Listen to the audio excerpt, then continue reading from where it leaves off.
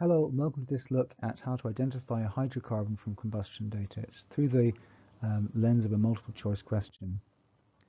So the first part of the question gives you the complete combustion of an alkane forms 30 centimeters cubed of CO2 and 40 centimeters cubed of H2O. And it's under the same conditions of temperature and pressure. So the blue highlighted part means that the number of moles of carbon dioxide to the number of moles of carbon atoms in an alkane are going to be the same. The number of moles of water vapor made is equal to the number of moles of hydrogen atoms in the alkane times a half. So in other words, double the number of moles of hydrogen atoms for every mole of water vapor. So although the temperature and pressure conditions might not be room temperature and pressure, the proportions of carbon dioxide to H2O formed will be the same relative to each other. In other words, volume and moles are always proportional, irrespective of temperature and pressure. So looking at the volume ratio of CO2 to H2O, it's 30 to 40, which is obviously 3 to 4.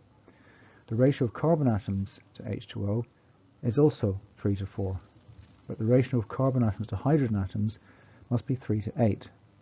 So therefore the formula must be C3H8, which leads us to propane, which is answer D. Okay, thanks for listening. Until next time, see you soon.